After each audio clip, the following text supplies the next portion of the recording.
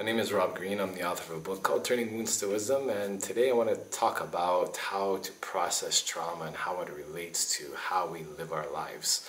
So, I'm a free diver, and when I dive down in the ocean, when I go to deep depths below 20 meters, I'll always check the undercurrents to see which way they're pushing. And the reason why is because if there's a strong undercurrent and I don't calculate it correctly, I can get swept away and drown. So these undercurrents really determine where the surface current moves, and sometimes they don't move in the same direction. The same is true with our emotions. Our emotions are the undercurrent of our actions and our thoughts. If we feel a positive emotion, we're going to think positive thoughts. And the other side of that is if we feel a negative emotion, we're going to think negative thoughts. So they're interconnected and they kind of run one another. The emotion is the battery for the thought process in the brain. Whenever there's a disconnection between emotion and thought, it's usually forced, and the emotion is going to manifest itself in another way at another time and another place. So just because you trick your mind into not thinking about something, or just because something comes up and you don't really want to deal with it at the time, ignoring it, distracting yourself from it, trying to justify it, overcompensating it in another area, you know, using your trauma to project you for growth forward in another area is one of the most healthy outlets to deal with it. However, it doesn't mean it resolves it. It just basically puts you in a position where you've climbed the mountain and now you have all these accomplishments to reflect on, but as soon as your mind is still and as soon as you don't have something to do, these things are going to come back asking for your attention. So, one thing to keep in mind, if you're going through a process of emotional healing, if you've had a lot of really fucked up shit happen in your life, if you've had baggage, if you've had things happen to you that you don't really know how to deal with, you have to be aware that your emotions are going to be governing your thoughts on a very subtle and unconscious level.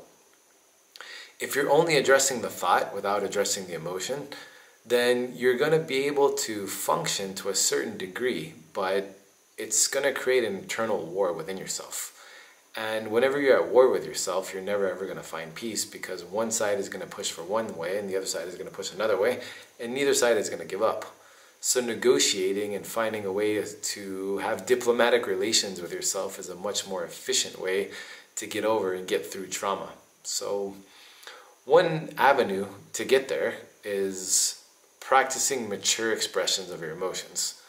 Whenever you feel like you are triggered and you have something coming up, usually our mind is going to tell us a story and we're going to get hyper attached to the story. If we're in a conflict with someone else and we get triggered and get angry, we're going to say all these really nasty, mean things to them, or we might even act out. We might even want to hit them or attack them. If we allow our emotions to be expressed in an immature way, it's always attached to a story. And if we follow that story to the end, we usually get to the point where we don't have to really process it and it ends up with us justifying and distracting ourselves back to the place that we were. So rather than doing that, whenever you're triggered, just simply call out the emotion for what it is. If someone makes or some memory or something makes you feel angry, just simply call out the emotion. Anger, anger, anger. I feel angry. I feel angry. This event made me feel angry. This event made me feel angry. And don't get too caught up in the story. Eventually, over time, the anger is going to manifest more and more and more and more. And your body's going to go through a process of release. It'll go into a bit of a TRE or a catharsis. When this happens, this kind of opens up the space to clear out the big, I guess, mountain of trash and get that out of the way. Once that's done, then you can go through the gentle process of really starting to reconnect to those parts of yourself because anytime you have a traumatic experience, it disconnects you from a part of yourself from when it happened. And that part of yourself is longing to reconnect with you. It can't do that because this emotion and this negative experience is in the way. Whenever you move the negative experience out of the way, then you allow yourself the space to reconnect with a part of yourself that you lost in that trauma.